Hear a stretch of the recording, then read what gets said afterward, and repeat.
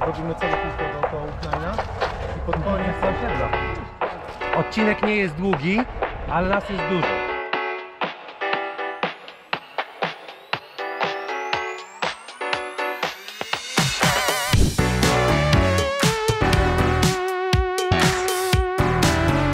Rezerwat przyrody na liście Ramsar. Wytypowano e, o znaczeniu globalnym te naj, najważniejsze zbiorniki i bagna, tereny podmokłe dla ptactwa wodnego.